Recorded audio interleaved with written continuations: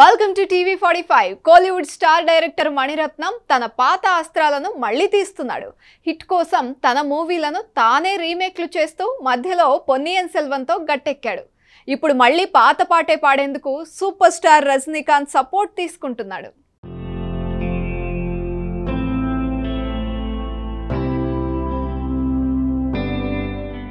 మణిరత్నం తన కథల లైబ్రరీ నుంచి పాత స్టోరీలో దుమ్ము దులుపుతున్నాడు. పొన్నియన్ సెల్వం తమిళ వరకు హిట్ అవ్వడంతో పొన్నియన్ సెల్వం టూ కోసం కష్టపడుతున్నాడు మణి. అయితే ఈ మూవీ పోస్ట్ ప్రొడక్షన్ వరకు ఫిబ్రవరిలోగా పూర్తవుతుందట.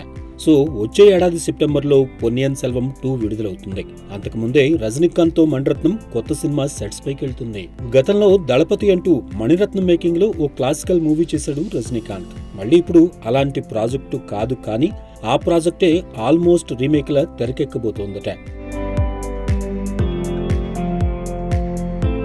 గతంలో సఖిని ఓకే బంగారంగా రీమేక్ చేసిన మణి అన్నారు. రోజా మూవీని చెలియా అంటూ మణిరత్నం రీమేక్ చేశాడన్నారు.